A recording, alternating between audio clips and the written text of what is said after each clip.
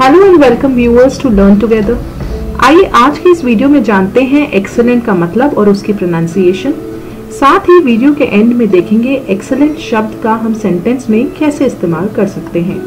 Excellent की pronunciation है excellent E X X C E L है, लेकिन हम उसे स बोलेंगे। ई एक्स एक्स सी ई स L E N T lent excellent excellent excellent की मीनिंग होती है उत्कृष्ट, बढ़िया अच्छा श्रेष्ठ, अनोखा। एक्सट्रीमली गुड और ऑफ़ वेरी हाई क्वालिटी बहुत अच्छा या बहुत उच्च गुणवत्ता वाला।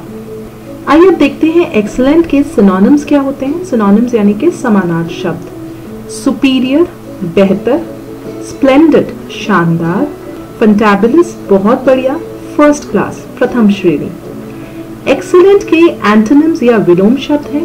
बैड कोई चीज़ बहुत एक्सीलेंट है, कोई चीज़ बैड है ऑपोजिट विलोम शब्द यानी कि ऑपोजिट बैड खराब। कॉमन सामान्य। इंफीरियर नीचा। ऑर्डिनरी साधारण। आइए अब हम एक्सीलेंट शब्द से सेंटेंस बनाकर देखें। The school is widely admired for its excellent teaching the school is widely admired for its excellent teaching school को उसके उत्कृष्ट शिक्षण के लिए व्यापक रूप से सराहा जाता है His car is in excellent condition. His car is in excellent condition. उनकी कार बढ़िया स्थिति में है She has given me an excellent suggestion. She has given me an excellent suggestion. उसने मुझे एक बहुत ही बढ़िया सुझाव दिया है He is an excellent man.